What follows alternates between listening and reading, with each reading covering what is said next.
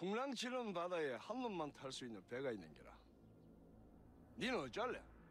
수연이 태우고 니는 바다에 빠질래? 지금 네 마음이 수연이 마음이기라. 여자를 믿지 말아요.